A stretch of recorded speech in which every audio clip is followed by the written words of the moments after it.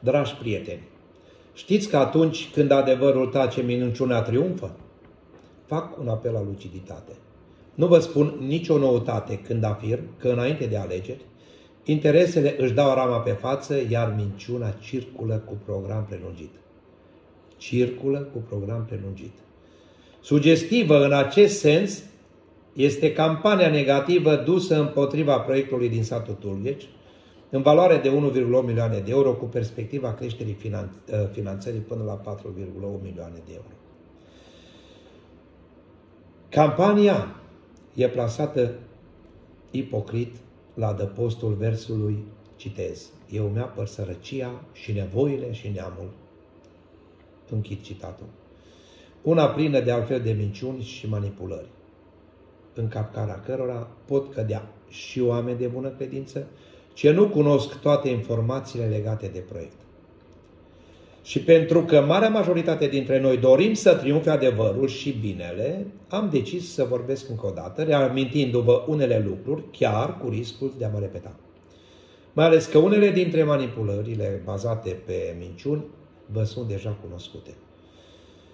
Îmi permit să vă reamintesc doar câteva dintre ele. 1. S-a afirmat că vreau să aduc țigani în comună. Să fim serioși. În comună vreau să aduc bani și bunăstare. 2 Ă, ni s-a reproșat că nu am accesat fonduri europene, ci norvegiene. Ca și cum Norvegia ar fi în Africa. Iar eu am spus că aduc fonduri europene, nu doar de la Uniunea Europeană.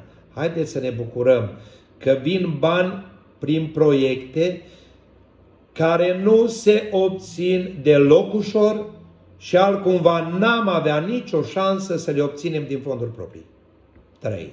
S-a vehiculat minciuna că la centrul multifuncțional de zi se face parcare pentru tiruri.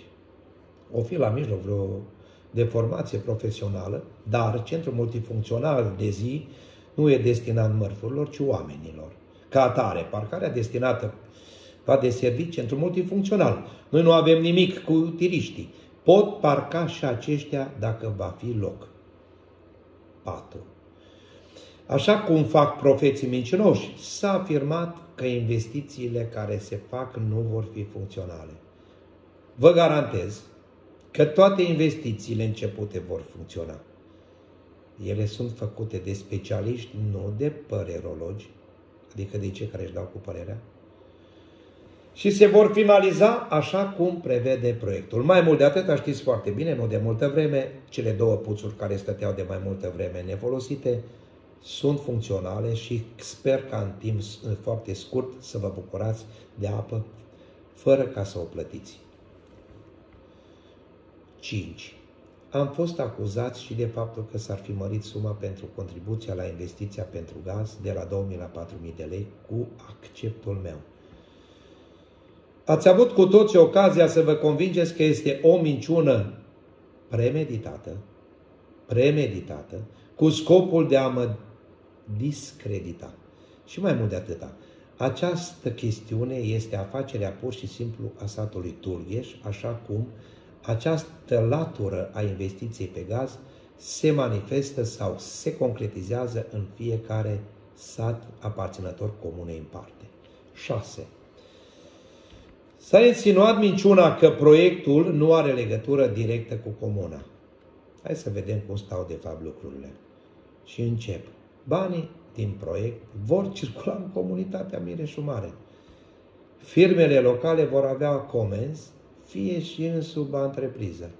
Se vor crea 40 de locuri de muncă în prima fază, iar până la final 117 locuri. Persoane din rândul șomerilor și persoanele inactive din Comuna Mireșu Mare vor urma gratuit cursul de îngrijire la domiciliu și vor beneficia și de servicii pentru inserție pe piața muncii. Mai departe, 53 de persoane cu dizabilități din Comuna Mireșuvare Mare vor beneficia de servicii de îngrijire la domiciliu. Aceste persoane rezultă din anchete sociale reale, nu din povești. 27 de copii din Comuna Mireșu Mare rămași fără mamă, fără tată sau fără ambii părinți ca urmare a plecării la muncă în străinătate, vor primi servicii personalizate de educație și inclusiv suport psihologic. 20 de copii din comună cu dizabilități și cu cerințe educaționale speciale vor primi sprijin adecvat și să știi că avem din nefericire pe cei 20 de copii. Mai departe, 190 de bătrâni din Comuna Mireșu Mare vor beneficia de îngrijire cu personal specializat la domiciliu. 7. Am fost acuzați că primăria nu este inițiatorul proiectului demarat în parteneriat cu Asopa Mare și Direcția Generală de Asistență Socială și Protecția Copilului Maramureș, care se pot demonta oricând. Oricând se pot demonta aceste neadevăruri. De altfel, informațiile despre toate proiectele primăriei se găsesc pe internet, la instituțiile partenere și la cele care ne-au alocat fondurile. În plus, eu, aparatul primăriei, ASOC, Direcția Generală de Asistență Socială și Protecție a Copilului Maramureș, vă stăm la dispoziție oricărui cetățean care dorește informații. Oameni buni! Pentru că se apropie campania electorală, mă aștept ca propaganda împotriva proiectelor comunității noastre să crească. Pentru lupe în blană de oaie, nu contează rău pe care îl fac semenilor, contează doar visele și iluziile lor. Nu cred că merită să vă mai pierdeți timpul cu toate minciunile lor. Nu zvonurile ne interesează, ci ceea ce facem pentru comuna noastră și ce lăsăm urmașilor astfel ca aceștia să poată spune Atenție! Noi ne apărăm bogăția, bunăstarea, dar și neamul. Am parafrazat partea citată mai anterior. De aceea, eu fac un apel la luciditate, mizând pe capacitatea dumneavoastră de a identifica ceea ce este bun pentru comunitatea noastră. La final, vă reamintesc sau vă amintesc spusele lui Dalai Lama. Fiți bun ori, cât, ori de câte ori este posibil. Și întotdeauna este posibil. Repet încă o dată.